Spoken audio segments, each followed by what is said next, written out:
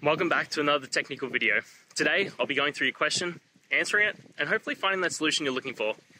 Guys, remember to stay just a little bit crazy, just like me, and hopefully you work through to that resolution. Let's get started.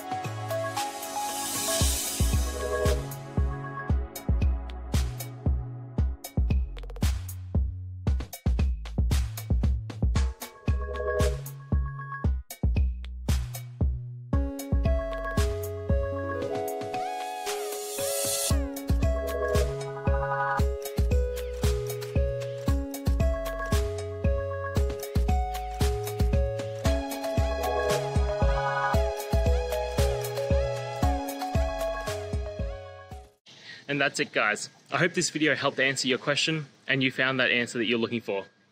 Now, please hit subscribe if it helped. I really appreciate it. And I'll see you next time on another one of these videos. Cheers.